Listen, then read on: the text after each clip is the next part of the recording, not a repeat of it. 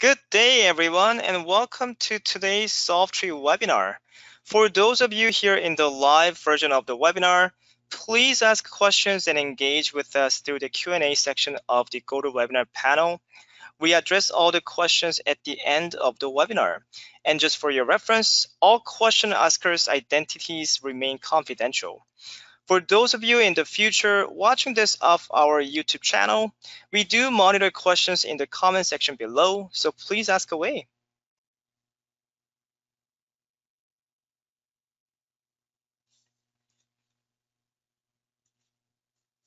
Okay, so today we'll be tackling three different types of projects. First, we uh, cover an example of an overlay and a road widening project. And then we'll continue with um, a demonstration of a new road design in a greenfield setting. And then um, the last example we'll cover will be a an example of a culvert design. Pretty much every project in RoadEng involves starting by importing your survey data and creating a digital terrain model. Today, in order to be able to cover three project types, we'll be skipping this process we will start each of the project types with the terrain model already created.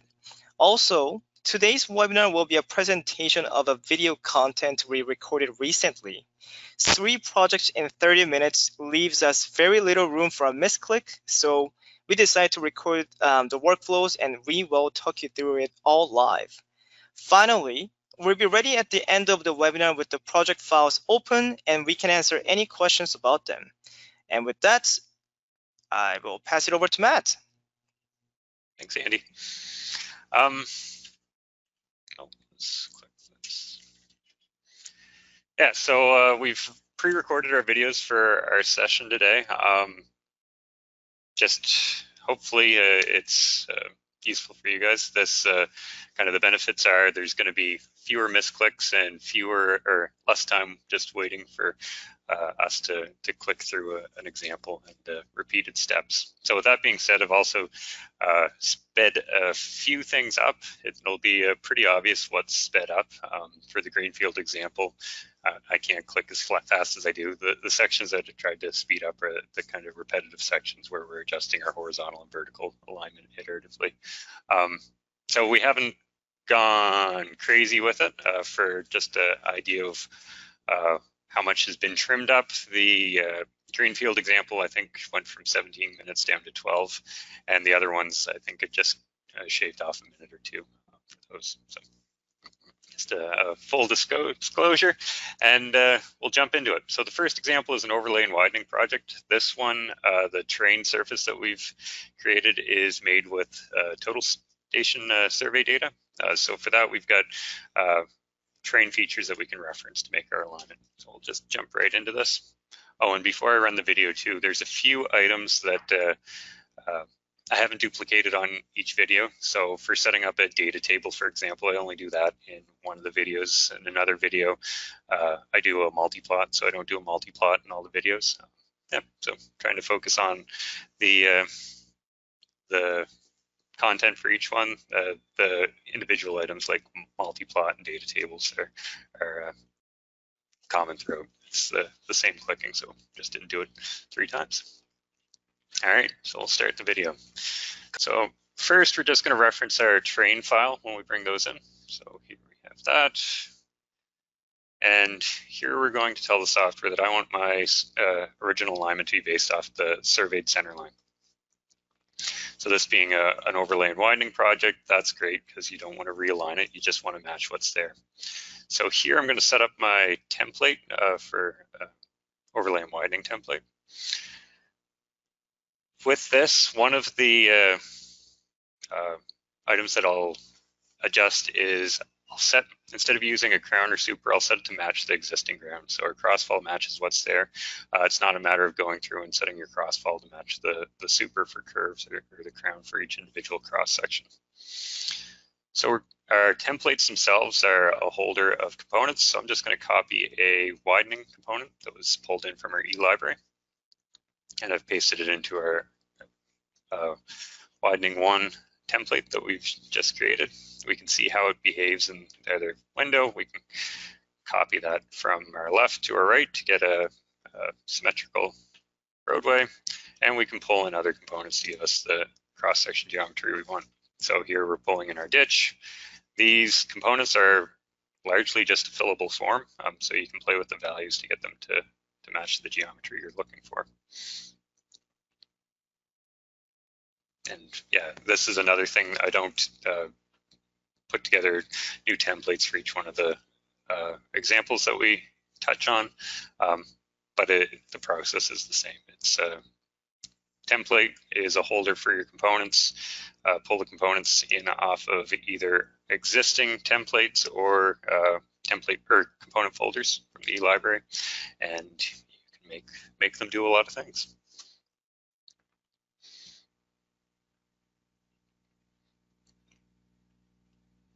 And you don't have to fill out each side independent left or right. You can copy one side and just paste it in as the other. So there we have that. Now when I hit OK, that's not going to update the cross section of my design because I've got a, another template applied right now. So to apply that template, I'm going to click Assign by Range. And I am going to add that in. So from station dot dot to dot dot's the entire extent of the road. And there we have it. So it does what we want. It's following the center line it's a widening project. There's going to be more cut on the, the cut slope side of things. Uh, looks like it's doing what I want it to do. Down below, I can see my mass haul diagram. I can see the surplus material I generate. I can also uh, create a, a, data table to give a more tabular output for that. So here I want to see my L station, so just the stationing on my left, and then I'll add in cut fills, and then the, the different volumes associated with the different uh, pavement materials. Um, one thing I don't do in the video is set my rows, so I just kept it at whatever the default row spacing was. But we could have configured that to show it in equal intervals or however you'd like for spacing. Uh, with this example, the template that I've used is a uh, fixed width for the mill section and a fixed width for the widening section. I've got this other template set up that uses a reference feature. So just like we referenced the center line when we started out, we can add in a reference feature from the topo surface. So here I've got uh, my edge of pavement. I can say that's what I want my mill portion to be. And we could do the same for the widening portion. And that just instead of having a fixed width, we'll uh, look out, see where the features are, and match that up. So if you want your mill portion to follow the uh, uh, existing pavement edge, you can configure your, your template to do that as well. And just to show how that behaves, we'll apply that one.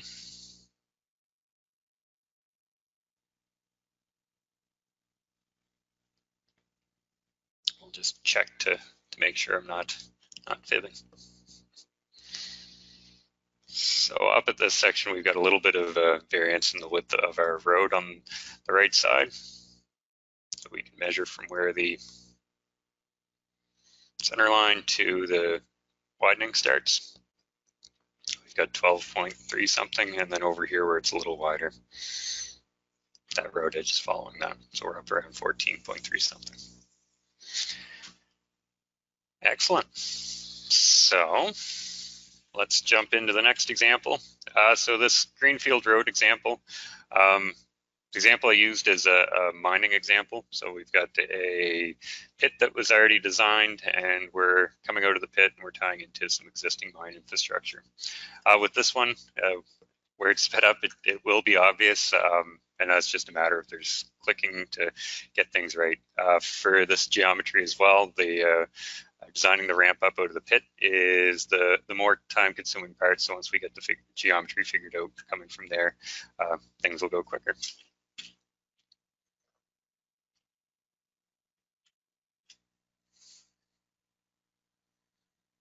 Just like before, we are going to reference that topo surface.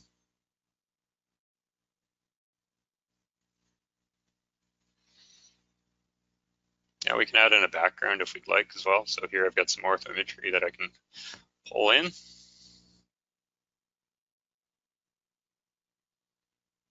and since this is based off LiDAR data, I don't get a, a feature that I can just set that to go where I'd like. So I'm going to move my starting point to where I'd like to start my road. And we'll start in the, the bottom of the pit there. And we can see the different views, see what's going on there. For our template for this one, uh, this is the default resource low volume road template. Um, again, just a fillable form and I've got a haul road template built. So this one has this more uh, mining specific functionality, bench cuts, and uh, automatically generate a safety berm if there's a, a, drop off on the low side of your road. And that's all customizable for how large of a drop off it triggers a, a berm and where you want your, your benches to be. Um, so for this first little bit, I'm just going to start by clicking in my horizontal alignment. And coming out of the pit, I for the most part, don't want to fill down into the pit floor. Um, and I also don't want to be way off, off outside of the pit and uh, cutting more material than I have to. So that's where this becomes a little bit more time consuming. Um, it's a, a, very constrained example and uh, a lot of clicking around in order to, to minimize extra earthworks. Um, the cut slope template we're using for this one's a, a newer template. Um, so with this, the and it'll be more apparent once we get it working up around the, the pit wall a bit more. Uh, we can set the uh, bench gradients to match the uh, uh have them independent of my road gradient. So in this case, I want my bench gradients to line up with the uh, the pre-designed benches of my pit. So here I'm just in the iterative side of the design, just adding a little bit more room so I can add in an appropriate uh, vertical curve at the bottom there. Um, our horizontal alignment's roughed in, but I don't have curves yet, so the length is going to change, and we'll have to make a few adjustments on the fly here as we go. I should also mention too, this LiDAR data set, it's a fairly uh, data heavy example, but it's uh, easy to work with in our software.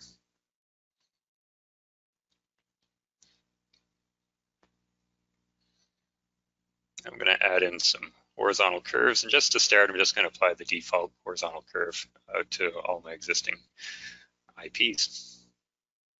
And there, the, the gradient changes because the, the length changed, which should be expected.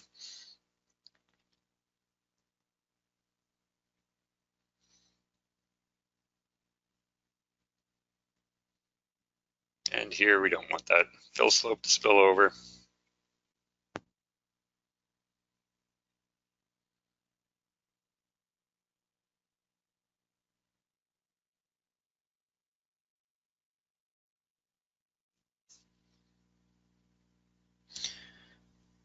And um, for me, I should mention as well, I prefer to design with an exaggerated scale. So I've got my label added that shows me my gradient. I'm at 8.1%.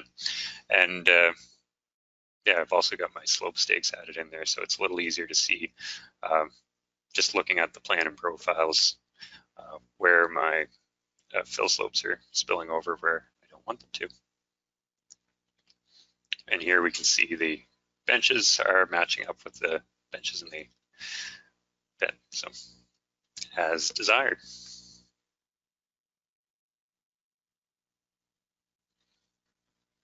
I think we're getting close to having this pit portion sorted. And yeah, greenfield example, the mining example for this, uh, it's uh, the functionality for whatever your project are, is largely the same. Could be a, a forestry example, could be a, a municipal example. Now without we go to the pit, Rest should go a bit quicker, less constrained, a little more room to move things around.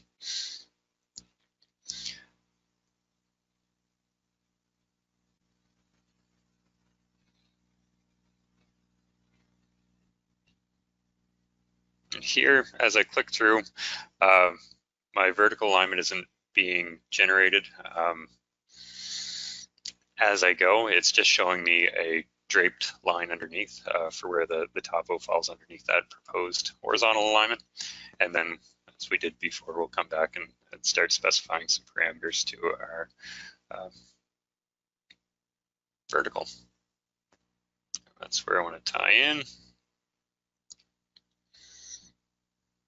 And for me, a lot of personal preference goes into this, um, but uh, uh, yeah, so I do my horizontal, uh, rough in my vertical, and then I'll start jumping around between both my uh, vertical and horizontal to, to refine things. Um, and I should say that's if I'm uh, not using the optimizer. I'm not going to use the optimizer in this example, but it, uh, it makes this a lot quicker. So you can turn the design into a semi-automated process, which will uh, minimize your earthworks costs and also reduce design time, which is pretty beneficial. Uh, so now that we've got things roughed in, I'll adjust, I'll pay more attention to my mass haul. Um, for this example, the uh, ramp coming up out of the pit is obviously going to generate a lot of cut. Uh, it's a mine site, the pit's got waste material that has to be spoiled somewhere. So I'm not so much worried about internally balancing this road, uh, but I still want to uh, minimize my earthworks. So the large spike in my mass haul is inevitable in this case off the start, but after that I want to kind of minimize my fluctuation uh, on the mass hauls diagram in order to minimize my cuts and fills. And is iterative here. I'm pulling around my uh, horizontal alignment a bit, so I'm further into the slope.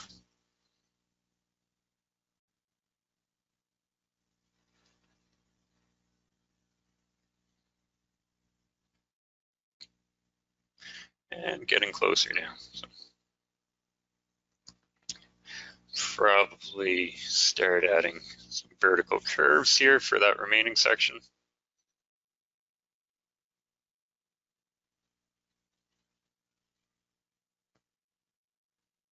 So just taking a quick check to see how things look, make sure there's no glaring issues in my, my 3D view.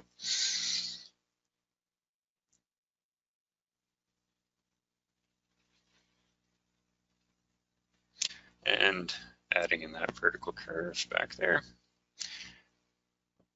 And working through adding my vertical curves.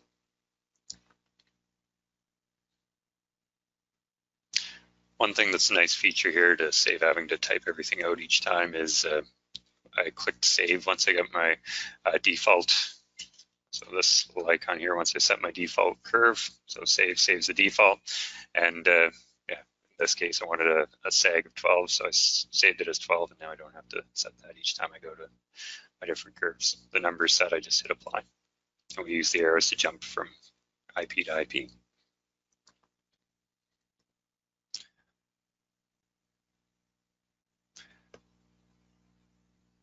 Now here, I'm going to add in a culvert. So this isn't going to be focus of this, just showing that you can work with culverts um, for uh, your greenfield examples. Um, and, you know, just drop the pipe in using the culvert panel. Uh, if, uh, bear with me while I navigate around to the location. We can see the pipe in our 3D view. We can play with its skew. Uh, if we wanted to, we could adjust its gradient. Um, we could adjust its length uh, and we can adjust its size. So I'll just double click it in the list and change the size to something else. So not 100, we'll change it again to 1,000. And as you can see, everything's updating in real time. So with that, one more peek at the alignment, make sure there's nothing looking funny aside from already looked at, and then we can configure the 3D view uh, a bit more as well. So if we want to see the actual surface rather than just the contours, we can add that in. This alpha channel setting, it controls the transparency. So it's a little easier to see what's going on. So the darker portions of the road are in cut, and then the brighter ones are fill. Um, yeah, then it makes a bit more sense where that berm is and where it isn't. Usually for this alignment, it's relatively steep. So if there isn't a berm, it's uh, a through cut.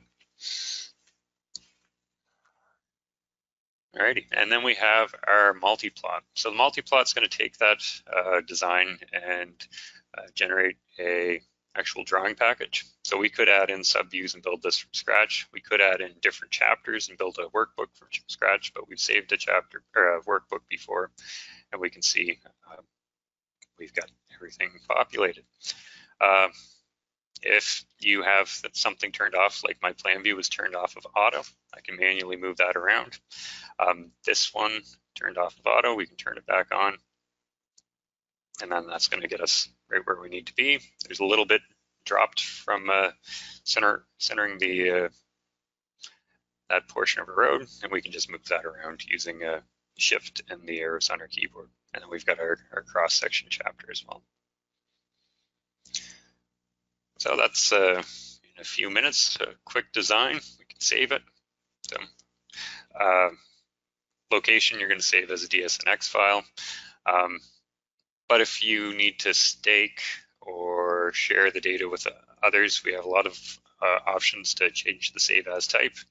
And uh, a really nice fi file format to work for for that is uh, LandXML. So great for jumping between different softwares and great for construction staking. Now let's jump to the next one. And we've got our major culvert. So here we're going to use um, multiple alignments and uh, kind of an iterative approach to uh, account for our excavation. So this example is a uh, rural road um, and it's a pipe replacement. It's uh, LiDAR data. So if we had uh, total station data with features, we could just tell it to follow the creek thalweg. In this case, I'm just clicking in my alignment, trying to match that up as best I can. Um, and I'm doing this just to get the, the long uh, profile of my creek thal. Uh, so the example in this case is a uh, fish pipe. So we're going to embed that. And to have it embedded properly, we do want to consider the, the overall profile of the, the creek. Uh, I've added in curves here. You obviously don't need to do that, um, but it's uh, the user preference. I find it easier to move curves around than a bunch of IPs, and I'm just trying to, to find the low point of my channel. And we can adjust those values that we've applied for our curves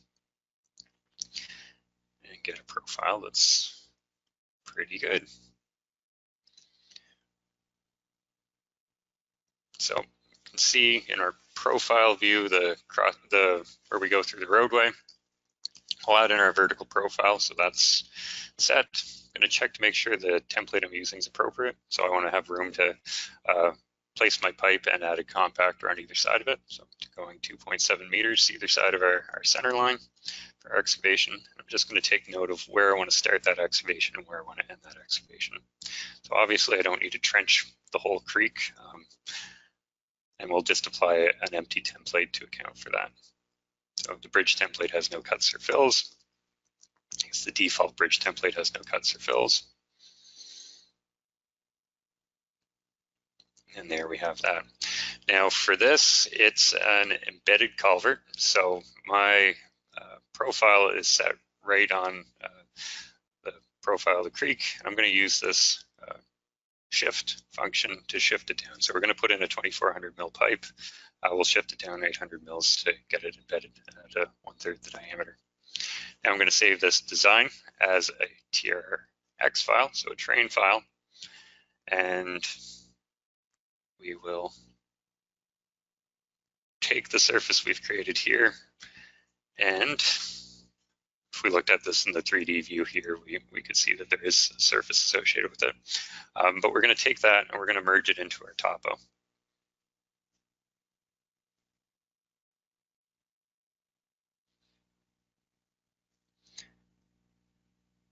So here I'm going to use the merge terrain.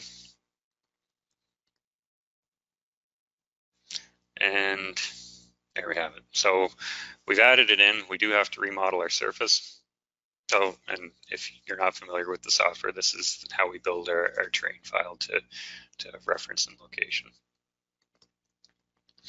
So we've got that. I'm going to just change the file name, top it with excavation. Now I'm going to come back into my design. I'm going to change the reference topo. And there we have that. So we've got our trench incorporated in the surface we're designing from now. I'm going to jump over here, add in my horizontal alignment for my road. This one, the, the default template fits with what I want here, so don't have to mess around with templates.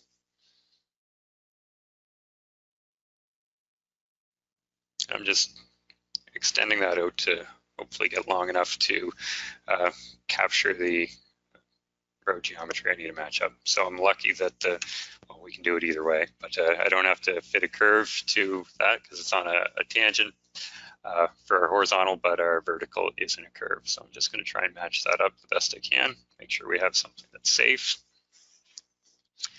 And we'll add in a vertical curve. Now for this, I'm going to use the auto function. So I've got a design speed set at 80, and it's going to tell me what K value I need to, to get the appropriate setting there. And I have to pull that out a little bit further. The curve I wanted to apply doesn't quite fit. Also give me a little longer of a reach to match up. And let's try applying that curve again. There we are. Now to install our, or add our culvert, just like we did in the other, just gonna add it in. I added a report point here, so I'm not just uh, right on the, the predefined report points. And we'll click add. There we are. We'll change our diameter to what we'd like.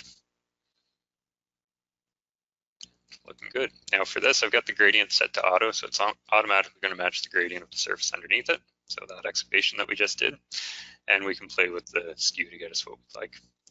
Now for this one, with our length set at auto, it's going to automatically size the pipe to extend out to the uh, edge of the uh, uh, earthworks. Now in this case, where we're going to backfill material, or going to let it fill in naturally, however do it, um, we can shorten that up a little bit.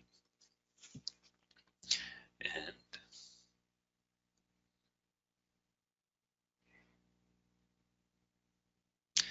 we're just going to go with 15 meters either side. There we are.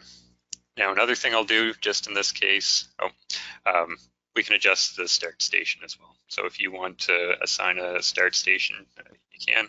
I've just set my start station so my uh, actual culvert placement is zero. Now for this project, I don't care to uh, do a bunch of excavation. It, let's um, yeah, really only want to just excavate 10 meters either side of the pipe. So I'm going to add in bridge component on either side of that. And there we've limited our earthworks to our actual crossing site. And that's that. We could make our data tables. We could jump over to uh, a multi-plot, but uh, yeah, we already covered that stuff. So that is all I've got. And uh, yeah, I think we've got a few questions here. Uh, one is I'm amazed by the interactive design updates in all the windows, especially shown in the Greenfield example. Do I need a supercomputer to be able to run this software? Uh, no, you don't. Um, so it's not uh, very demanding, especially to other similar softwares. Uh, for uh, idea of what I have. I've got a, a i7 uh, processor and I think 16 gigabytes of RAM. So it's a it's a decent computer, but it's by no means a, a super computer. And we do have people that can run it on uh, much uh, less desirable machines. And, yeah, works well. Um, we also have a question about you mentioned optimization. How would that have helped your greenfield uh, design? Well, I, uh, I kind of anticipated a question like that. Um, let's see if I can find it, my files. Guess I should have had these open. Uh, So it doesn't take long to run at all. And I ran it in this case here. Now, for that greenfield example, um, coming up out of the pit, it's not really a great example to where you want to optimize it. Um, maybe you could add in a, a, uh, a, full bench constraint. Well, even then it wouldn't work because there's you're filling on the other side where it goes through that creek draw. So for that where you have something that might be, oh, I did it, where you might have something uh, really constrained and part of your design is really applicable for optimizing and the other part you'd want to stick to uh, having a lot of control. This example, I wait for it.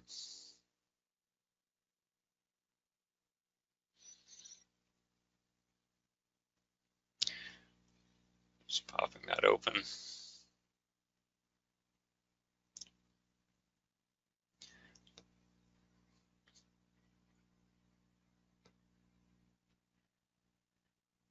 this example, I told it that I want to run the optimizer, but I didn't want to run it from uh, station, uh, what is it, station uh, 700 and something. Just a sec.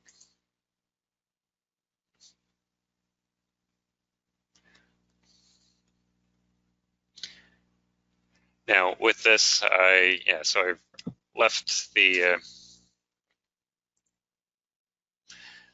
the by hand design, made a copy of it, so duplicated it, and just said, well, how how much better can I do? So we've also got some uh, costing functionality in the software, uh, and so recalculating it, it came out to being a cost of 800,000, or sorry, 8 million.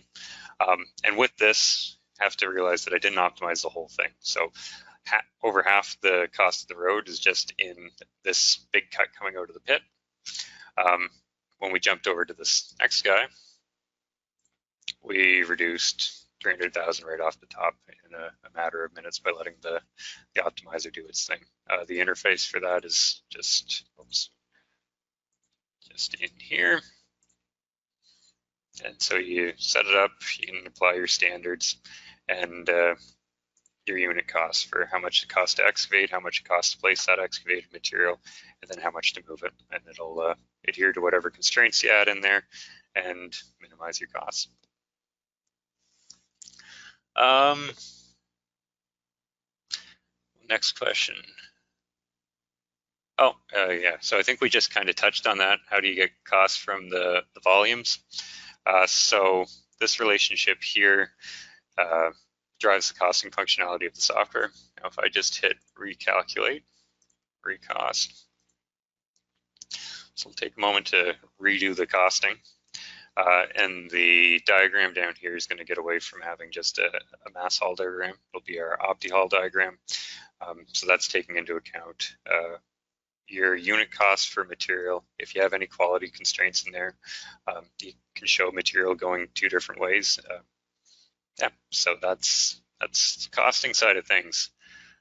Uh, does mass haul account for material expansion and compaction? Uh, yes, it does, and that's another benefit of this uh, opti-haul graph. So the mass haul diagram uh, doesn't account for material movement very well if you have uh, really complex requirements. Um, say you need um, one material with a certain gradation spec for one section of the road, and uh, but you can fill with uh, lower grade material through other sections. Well, this diagram can keep track of where each individual piece is going and the expansion compaction uh, for that individual material type. Now this example isn't a great uh, example for material movement. I've only got one material assigned for this, so it's it's pretty simple. Uh, is there a more clear way to show the areas of cut and fill versus the 3D transparency? Uh, yeah. So I like the 3D transparency, but it's not great, especially if you're putting out a, a drawing package. Um, so with this, we can go to this, we can turn on our shading. Uh, we can choose whether we show cut and fill. We can also add different surfaces if we'd like. Um, let's try four mils for that. There, so we can see our cut and fill sections. All right, and uh, we're a bit over time. Um, and uh, I think we'll we'll call it a wrap. If, if there's uh, more questions, we will uh, circle back on those of you that uh, we didn't get to. Thanks, everyone.